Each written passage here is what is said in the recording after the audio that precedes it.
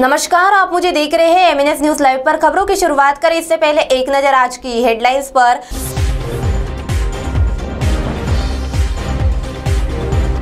ज़िले में जाँच घटते ही संक्रमित भी घटे।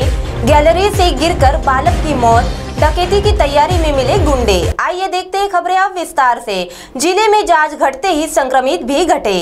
कोरोना का प्रकोप कम होता दिख रहा है। दैनिक रोगी संख्या 8000 से अब 500 पर आ गई है। लेकिन टेस्ट घटते ही रोगी संख्या में गिरावट देखने को मिल रही है। बुधवार को बारह नमूने जांचे गए। इसमें शहर के दो और ग्रामीण के 208 नए संक्रमित मिले।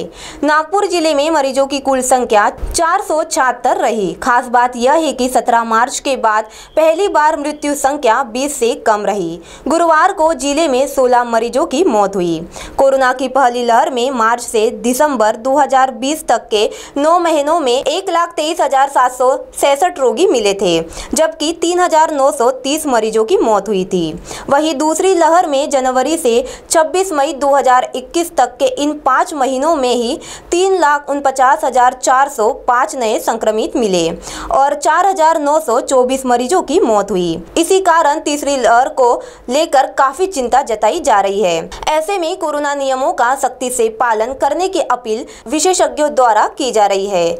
शहर में गुरुवार को दस नमूने जांचे गए और दो प्रतिशत मरीज़ संक्रमित पाए गए जबकि ग्रामीण में केवल 2108 टेस्ट में नौ प्रतिशत मरीज़ पॉजिटिव आए। तो वही दूसरे और गैलरी से गिरकर बालक की मौत। घर की गैलरी में खेल रहे डेढ़ साल के बालक की पहली मंजिल से गिरकर जान चली गई। यह हादसा बुधवार की सुबह वाटोड़ा के शिवनगर में हुआ। शैलेश पारदी का डेढ़ साल का बेटा मयंक बुधवार की सुबह पहली मंजिल पर स्थित घर की गैलरी में खेल रहा था। मयंक खेलते खेलते बालकनी की ग्रिल पर चढ़ गया। वह ग्रिल से नीचे गिर पड़ा। उसकी मौके पर ही मौत हो गई। वाटोड़ा पुलिस ने मामला दर्ज किया है। तो वही तीसरे और डकैती की तैयारी में मिले गुंडे।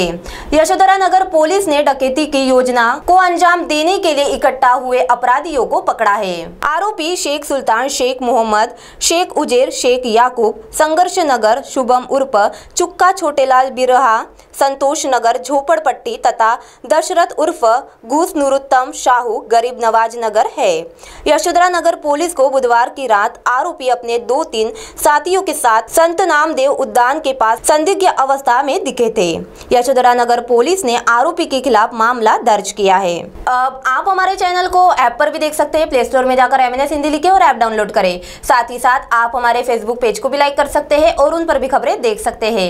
लिंक ट्विटर हाइक इंस्टाग्राम पर भी आप हमारी खबरें देख सकते हैं। आप हमारे चैनल को यूट्यूब पर भी देख सकते हैं और इसे यूट्यूब पर सब्सक्राइब करना ना भूले। अब फ़िलहाल वक्त आ चला है एक ब्रेक का।